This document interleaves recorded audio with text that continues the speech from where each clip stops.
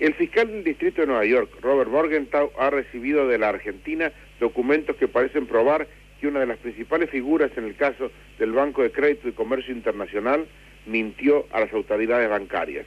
Gaid Faraón, un millonario saudita, tenía el 16% de las acciones del banco y realizó, entre otras, inversiones en Argentina y en Chile.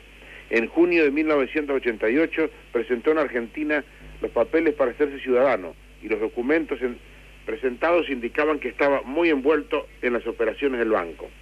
Pero posteriormente ha estado afirmando que en 1986, o sea, dos años antes, se había desligado de la institución. Ahora Morgenthau ha recibido los documentos de la Argentina y está investigando cuál es la situación real como parte del proceso por estafa iniciado contra el Banco de Crédito y Comercio Internacional.